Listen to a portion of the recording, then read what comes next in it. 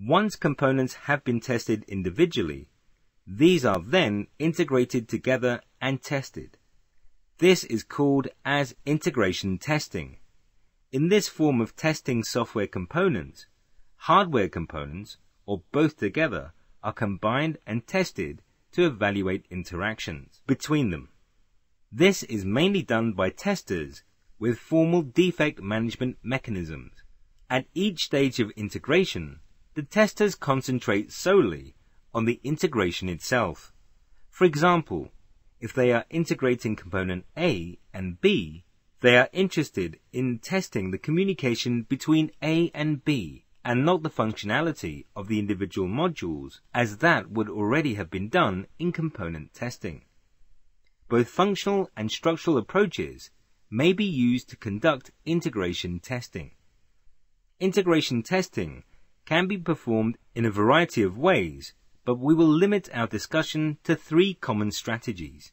Top-down, bottom-up, and Big Bang approach. The top-down approach to integration testing requires the highest level modules to be tested and integrated first, and data flow to be tested early in the process and it tends to minimize the needs for drivers. However, the need for stubs complicates test management, and low-level utilities are tested relatively late in the development cycle. Another disadvantage of top-down integration testing is its poor support for early release of limited functionality. The bottom-up approach requires the lowest level units to be tested and integrated first. These units are frequently referred to as utility modules. By using this approach, utility modules are tested early in the development process and the need for stubs is minimized. The downside, however, is that the need for drivers complicates test management and high-level logic and data flow are tested late. Like the top-down approach, the bottom-up approach also provides poor support for early release of limited functionality.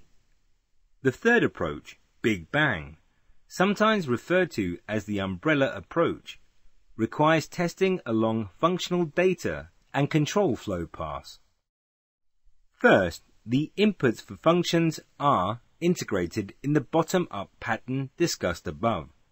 The outputs for each function are then integrated in the top-down manner.